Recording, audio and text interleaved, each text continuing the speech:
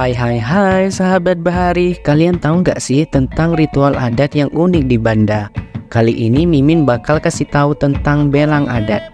Yuk kita eksplorasi bersama apa itu belang dan bagaimana peranannya dalam budaya Banda. Belang adalah perahu tradisional masyarakat Banda yang memiliki panjang 40 meter dan lebar 2 meter dengan kapasitas untuk 36 orang. Di Banda terdapat dua jenis belang, belang adat dan belang Nusantara.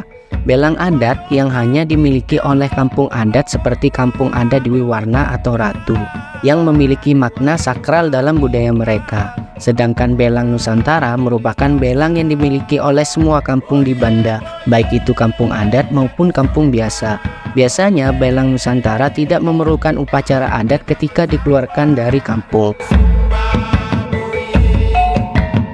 Sebelum belang Anda digunakan sahabat Bari, diadakan upacara buka kampung. Upacara ini melibatkan ritual adat di kampung dengan melakukan sesajen dan tarian cakalele.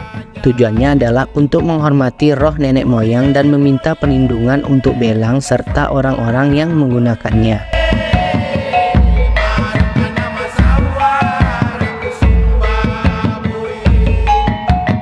Setelah upacara buka kampung sahabat Bari, belang adat menjalani ritual bayi lele. Ritual ini unik karena belang dibawa ke tempat-tempat keramat dari masing-masing kampung untuk penghormatan. Ritual bayi lele juga bertujuan untuk menjaga kesejahteraan dan keselamatan selama perjalanan.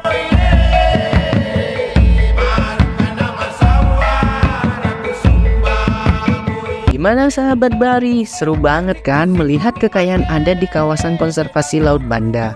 Dari ritual belang adat yang penuh makna, hingga tarian cakalele yang memukau. Semua ini adalah bagian dari keindahan budaya yang patut kita lestarikan.